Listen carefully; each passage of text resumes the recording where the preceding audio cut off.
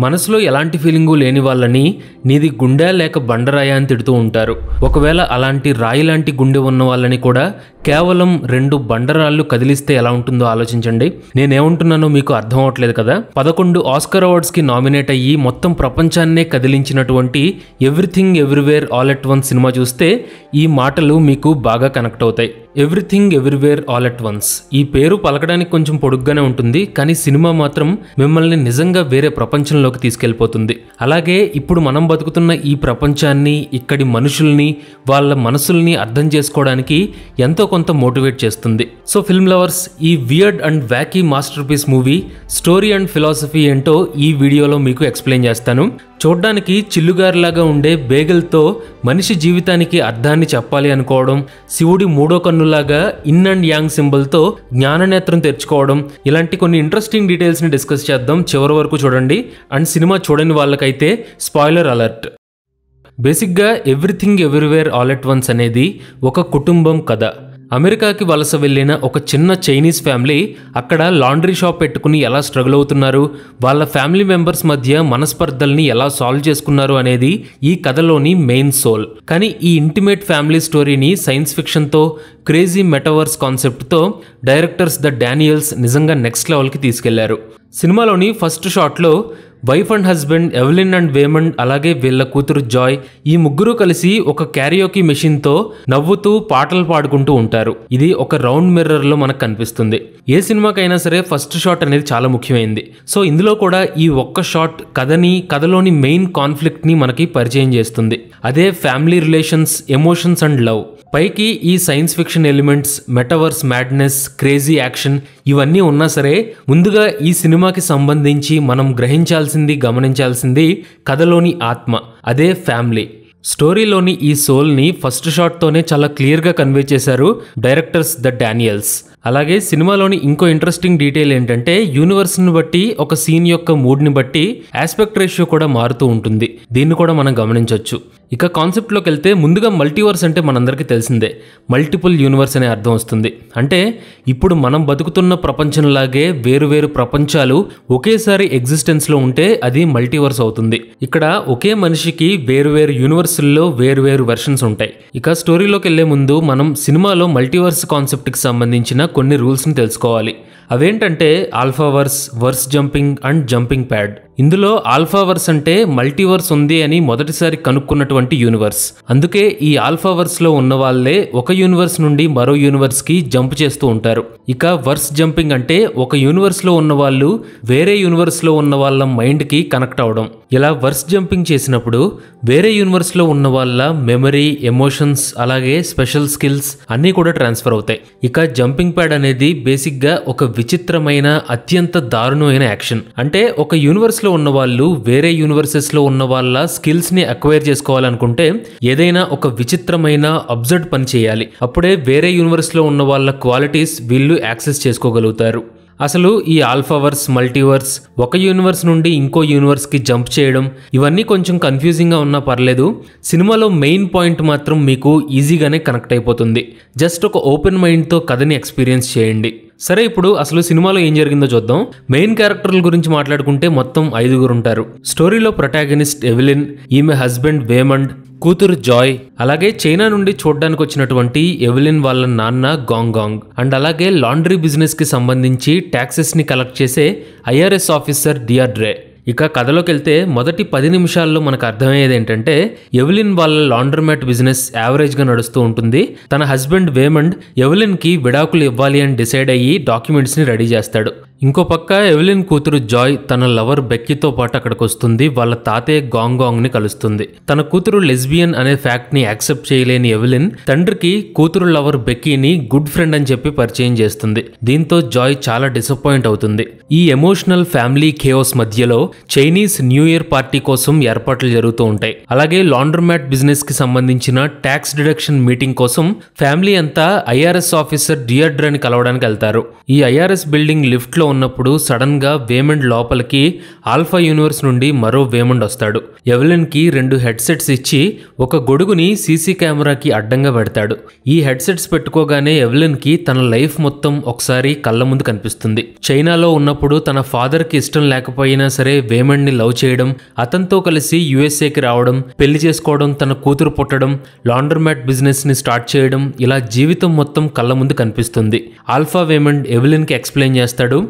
లైఫ్లో మనం తీసుకునే చిన్న చిన్న డెసిషన్సే కొన్ని ప్యారలల్ యూనివర్సెస్ని క్రియేట్ చేస్తాయి అని. అలాగే ఈ యూనివర్స్లో మీరంతా డేంజర్లో ఉన్నారు అని చెప్పి డైవర్స్ పేపర్స్ వెనకాల ఎవ్లిన్కి కొన్ని ఇన్స్ట్రక్షన్స్ రాసిస్తాడు. తర్వాత ఆల్ఫా వేమండ్ వెళ్ళిపోయిన తర్వాత రియల్ వేమండ్ నార్మల్ అయిపోతాడు. సినిమాలో ఇక్కడి నుండి ఆల్ఫా యూనివర్స్ నుండి వేమండ్ అప్పుడప్పుడు జంప్ చేస్తూ ఎవలిన్కి గైడెన్స్ ఇస్తూ ఉంటాడు. సో మల్టీవర్స్ మ్యాడ్నెస్ అనేది మొదలవుతుంది. ఆల్ఫా వేమండ్ ఈ వర్స్ జంప్లన్నీ కూడా ఎక్స్ప్లెయిన్ చేస్తూనే ఉంటాడు. ఫాలో అవడం కూడా మనకి ఈజీగానే ఉంటుంది. ఇకపోతే ఫ్యామిలీ అంతా ఐఆర్ఎస్ ఇన్స్పెక్టర్ డిఆర్డ్రే ముందు కూర్చుంటారు. ఈ డిఆర్డ్రే ట్యాక్స్ రిసీట్స్ అన్నిటినీ సరిగ్గా మెయింటైన్ చేయలేదు అని ఎవలిన్ అండ్ వేమండ్ ఇద్దరిని తిడుతూ ఉంటుంది. కానీ ఎవలిన్ మాత్రం ఆల్ఫా వేమండ్ రాసిచ్చినటువంటి ఇన్స్ట్రక్షన్స్ చదివి ఒక్కో రూల్ని ఫాలో అవుతుంది. షూస్ని ఆపోజిట్గా వేసుకుని అక్కడున్న ఒక స్టోర్ రూమ్లోకి వెళ్ళినట్టు ఊహించుకుంటుంది.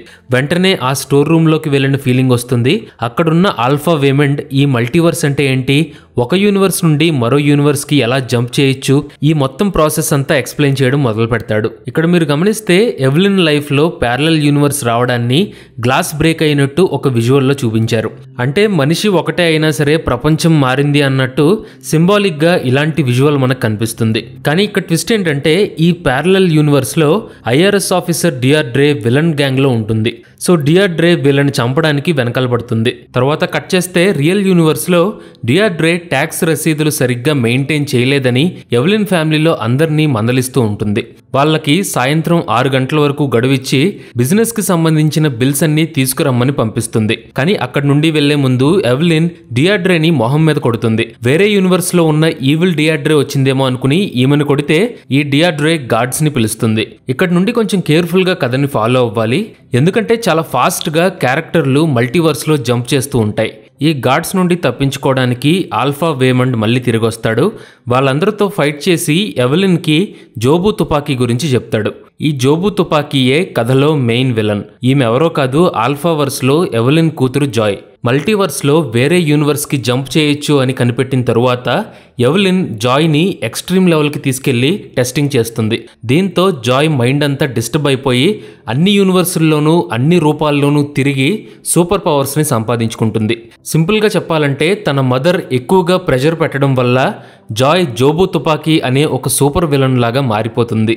ఈమె దేన్నైనా కంట్రోల్ చేయగలదు ఎవరినైనా చంపేయగలదు. సో ఈ విలన్ని అడ్డుకోవడానికే ఆల్ఫా యూనివర్స్ వేమండ్ వచ్చి ఈ వరల్డ్లో ఉన్నటువంటి ఎవలిన్ని కలుస్తాడు. వర్స్ జంపింగ్ అనేది ఎలా చేయాలి వేరే యూనివర్స్లో ఉన్న వాళ్ళ స్కిల్స్ని ఎలా అక్వైర్ చేసుకోవాలి ఇవన్నీ ఎవలిన్కి చెప్తాడు ఆల్ఫా వేమండ్ వీడియో స్టార్టింగ్లో ఆల్రెడీ ఎక్స్ప్లెయిన్ చేశాను కదా. వర్స్ జంపింగ్ చేయడానికి వేరే యూనివర్స్లో ఉన్న వాళ్ళ స్కిల్స్ని అక్వైర్ చేసుకోవడానికి జంపింగ్ ప్యాడ్ అనేది కావాలి. అంటే విచిత్రమైన వియర్డ్ పని ఏదో ఒకటి చేయాలి. ఈ everything everywhere all at once మూవీలో మిమ్మల్ని కడుపుబ్బ నవ్వించే కామెడీ ఈ జంపింగ్ ప్యాడ్ సీన్స్ నుండే జనరేట్ అవుతుంది. ముఖ్యంగా యాక్షన్ సీన్స్లో క్యారెక్టర్లు పవర్స్ కోసం జంపింగ్ ప్యాడ్ని వెతుక్కోవడం దారుణమైన వియర్డ్ సిచ్యువేషన్స్ని క్రియేట్ చేసుకోవడం చాలా ఫన్నీగా ఉంటుంది. ఈ సినిమా ఆడియన్స్ మీద నెక్స్ట్ లెవెల్ ఇంపాక్ట్ని క్రియేట్ చేయడానికి రీజన్ ఏంటంటే జస్ట్ విత్ ఇన్ సెకండ్స్లోనే ఒక సీన్ జాన్రా అండ్ మూడ్ కంప్లీట్గా చేంజ్ అయిపోతాయి. అంటే అప్పటి వరకు కడుపుబ్బ నవ్వుకుంటాం తర్వాత నెక్స్ట్ సెకండ్లోనే ఒక డీప్ ఎమోషనల్ ఇంపాక్ట్ని కూడా మనం ఎక్స్పీరియన్స్ చేయగలుగుతాం. సో ఇక్కడ నుండి సినిమా మొత్తం ఒక wild and crazy roller coaster ride లాగా ఉంటుంది. ఇక స్టోరీలోకి వెళ్తే ఐఆర్ఎస్ ఆఫీస్లో ఈవిల్ డియాడ్రే ఎగురుకుంటూ వచ్చి తన్నబోతుంటే ఐ లవ్ యూ అని చెప్పి జంపింగ్ ప్యాడ్లోకి వెళ్ళి ఒకేసారి ఎవ్లిన్ మార్షల్ ఆర్ట్స్ పవర్ని సంపాదించుకుంటుంది. డియాడ్రేని కొట్టి అక్కడి నుండి ఇద్దరు తప్పించుకుంటారు. ఇంతలో విలన్ జోబు తుపాకీ వచ్చి ఎవ్లిన్కి తాను క్రియేట్ చేసిన ఎవ్రీథింగ్ బేగల్ని చూపిస్తుంది. ఈ బ్లాక్ హోల్ సాయంతో అన్ని యూనివర్స్ని అంతం చేయొచ్చు అనేది జోబు ప్లాన్. కానీ ఆల్ఫా విమెండ్ అండ్ కొంతమంది గ్యాంగ్ కలిసి జోబుని ఆపడానికి ఎవలిన్ సాయం కోరుకుంటారు. కానీ జోబు శక్తులతో పోల్చుకుంటే వీళ్ళ కెపాసిటీ చాలా తక్కువ. సో విలన్ జోబు అందరినీ చంపి ఎవలిన్ని బ్లాక్ హోల్ దగ్గరికి తీసుకెళ్ళబోతుంటే ఆల్ఫా వర్స్ నుండి ఓల్డ్ మ్యాన్ గాంగాంగ్ వచ్చి కాపాడతాడు. ఈ ఆల్ఫా గాంగాంగ్ తన యూనివర్స్ని కాపాడడానికి జాయ్ బాడీలో ఉన్న జోబు తుపాకీని చంపడానికి ట్రై చేస్తాడు. కానీ ఎవలిన్ మాత్రం తన కూతుర్ని చంపడానికి ఒప్పుకోదు. జాయ్ అండ్ వేమండ్ ఇద్దరిని తీసుకుని అక్కడి నుండి పారిపోతుంది. ఈ టైంలో ఆల్ఫా వర్స్లో ఆల్ఫా వేమండ్ గ్యాంగ్ని జోబు తుపాకీ అడ్డుకుని ఫైట్ చేస్తుంది. సో రియల్ యూనివర్స్లో వేమండ్ అండ్ జాయ్ ఇద్దరే ఉంటారు. ఆల్ఫా వర్షన్స్ మాత్రం అక్కడ ఆ లోకంలో బిజీగా ఉంటాయి. ఎవలిన్ మాత్రం వర్స్ జంపింగ్ చేసి ఆల్ఫా గాంగాంగ్ నుండి తన కూతుర్ని కాపాడుకుంటూ ఉంటుంది. కానీ ట్రాజిడీ ఏంటంటే ఆల్ఫా యూనివర్స్ యూనివర్స్లో ఆల్ఫా వేమండ్ని జోబో తుపాకీ చంపేస్తుంది. అలాగే రియల్ యూనివర్స్లో కూడా మల్టీవర్స్లో ఎక్కువగా జంప్ చేయడం వల్ల ఎవలిన్ మైండ్ కూడా ఫ్రాక్చర్ అయ్యి చనిపోతుంది. కానీ ఇక్కడ ట్విస్ట్ ఏంటంటే మిగతా యూనివర్సుల్లో మాత్రం ఎవలిన్ బతికే ఉంటుంది. అండ్ ఈమె కాన్షియస్నెస్ అన్ని యూనివర్సులకి స్ప్రెడ్ అయ్యి స్లోగా ఒకేసారి అన్ని చోట్ల ఎగ్జిస్ట్ అవుతుంది. అంటే ఆల్ఫా యూనివర్స్లో తన కూతురు జోబోకి ఎలాంటి శక్తులు వచ్చాయో అలాంటి పవర్స్ స్లోగా ఎవలిన్కి కూడా వస్తాయి. సో ఇక్కడ నుండి వర్స్ జంపింగ్ చేయడానికి ఎవలిన్కి వియర్డ్గా ఉండే జంపింగ్ ప్యాడ్స్ అక్కర్లేదు. కాకపోతే ఇలా అన్ని యూనివర్సల్ని ఒకేసారి ఎక్స్పీరియన్స్ చేయడం జరిగితే స్లోగా లైఫ్ మీద ఇంట్రెస్ట్ పోయి మొరాలిటీ కానీ ఆబ్జెక్టివ్ ట్రూత్ కానీ లేకుండా బతికున్న శవంలా మారిపోతుంది. ఇక్కడ మీరు జాగ్రత్తగా గమనిస్తే ఈ సినిమా ఒక ఫన్నీ సైన్స్ ఫిక్షన్ నుండి ఫిలసాఫికల్ జోన్లోకి టర్న్ అవుతుంది.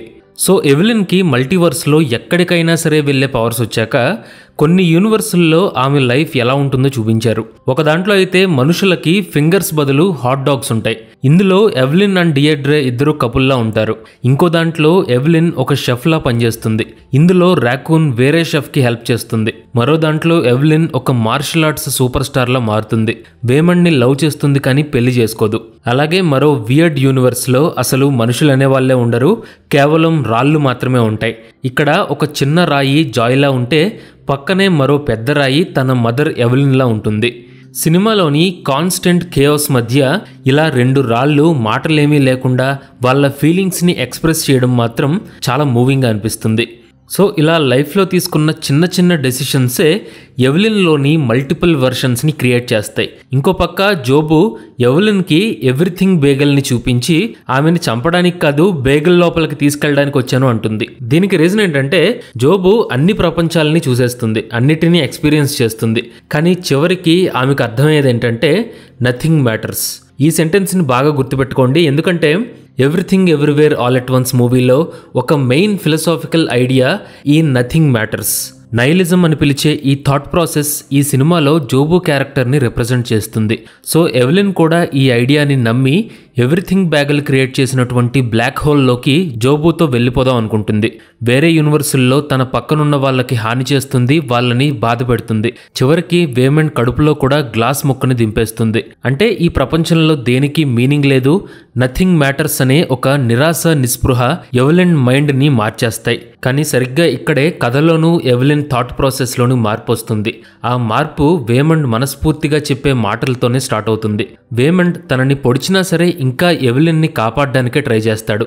అసలు ఎందుకు కోపంతో ద్వేషంతో ఒకరినొకరు చంపుకుంటున్నాం? మనుషుల మీద జాలి దయ ఉంటే అన్ని సమస్యలు సాల్వ్ అయిపోతాయి కదా అంటాడు. ఈ డైలాగ్స్ మాత్రం వినడానికి సింపుల్ గానే ఉంటాయి. కానీ పర్ఫార్మెన్స్ వల్ల అప్పటి వరకు మనం చూసిన కేయాస్ వల్ల వేమండ్ చెప్పే ఈ మాటలు ఎంతో సూతింగ్గా హార్ట్ టచింగ్గా అనిపిస్తాయి. సో సినిమా చివరికి ఎవలిన్ కూడా వేమండ్ లాగే కైండ్నెస్ అండ్ కంపాషన్తో ఫైట్ చేయాలి అనుకుంటుంది. జోబు తుపాకీ సోల్జర్స్ అందరికీ వాళ్ళకి కావాల్సిన హ్యాపీనెస్ ఇచ్చి లైఫ్కి మీనింగ్ కలిగిస్తుంది. అలాగే తన కూతురు జాయ్ అలియాస్ జోబు తుపాకీని కూడా బ్లాక్ హోల్లోకి వెళ్ళకుండా ఆపుతుంది. ఈ ప్రాసెస్లో తన తండ్రి చేసిన తప్పేంటో చెప్పి గుండెల్లో ఉన్న బరువుని దించేసుకుంటుంది. అలాగే జాయ్ని యాక్సెప్ట్ చేసి వాళ్ళ నాన్నకి జాయ్ గర్ల్ ఫ్రెండ్ బెక్కీని పరిచయం చేస్తుంది. సో ఇలా ఫైనల్గా ఫ్యామిలీలో ఉన్న మనస్పర్ధలు ఎప్పటి నుండో హార్ట్లో ఉన్నటువంటి హెవీ ఫీలింగ్స్ అన్నీ కూడా రిజాల్వ్ అవుతాయి.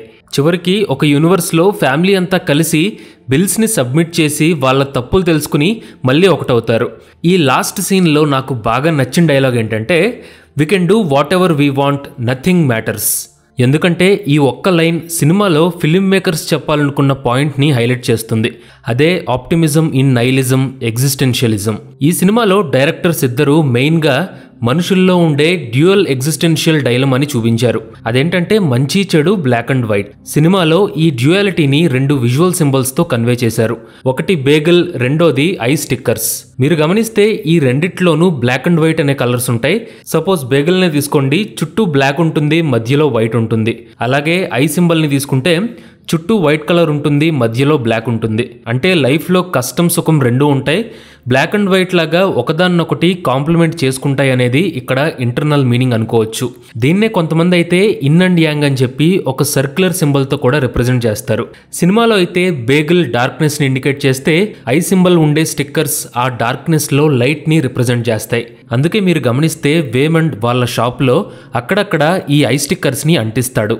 అంటే సరదాగా లైఫ్ని గడపాలి అనేది అతని ఫిలాసఫీ. కానీ జాయ్ మాత్రం నాశనాన్ని కోరుకుంటుంది బేగల్ని క్రియేట్ చేస్తుంది. ఒక సీన్లో వేమండ్ వాళ్ళ యూనివర్స్లో దొరకలేదు అని చెప్పి క్రీమ్ చీజ్ బేగల్ని తింటూ ఉంటాడు. అంటే ఎంత దరిద్రంలో ఉన్నా సరే ఆ దరిద్రంలో కూడా ఏదో ఒక మీనింగ్ని వెతుక్కోవచ్చు అనేది ఈ ఎగ్జిస్టెన్షియలిజంలోని మెయిన్ పాయింట్. ఓవరాల్గా చూస్తే ఈ everything everywhere all at once movie circle of life అనే కాన్సెప్ట్ని ఎక్స్ప్లోర్ చేస్తుంది. మీరు గమనిస్తే సినిమాలోని ఫస్ట్ షాట్ ఒక మిర్రర్తో మొదలవుతుంది. ఆ సర్క్యులర్ మిర్రర్లోనే ముగ్గురు ఫ్యామిలీ మెంబర్స్ ఉంటారు. కట్ చేస్తే తరువాతి షాట్లో మిర్రర్ మొత్తం ఎంటీగా మారిపోతుంది. అలాగే తరువాత ఎవ్లిన్ పక్కనుండే అద్దంలో ఓన్లీ వేమండ్ మాత్రమే కనిపిస్తాడు. అంటే ఫ్యామిలీ మెంబర్స్ మధ్య డిస్టెన్స్ వచ్చింది అనేది ఇక్కడ సింబాలిక్గా మనకు కనిపిస్తుంది. కానీ ఇక్కడ సర్కిల్ ఆఫ్ లైఫ్ అంటే డిస్టెన్స్తో పాటు ఒక విడదీయలేని అటాచ్మెంట్ కూడా ఉంటుంది అనేది స్టోరీ మనకి ప్రూవ్ చేసింది. అందుకే విజువల్గా చూస్తే సినిమాలో బ్లాక్ అండ్ వైట్ సింబాలిజం అనేది చాలా క్లియర్గా మనకు కనిపిస్తుంది.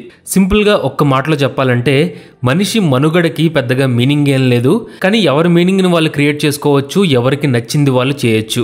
ఇదే everything everywhere all at once సినిమాలోని ఫిలాసఫీ సో మూవీ లవర్స్ మీకు ఈ వీడియో నచ్చిందని ఆశిస్తున్నాను.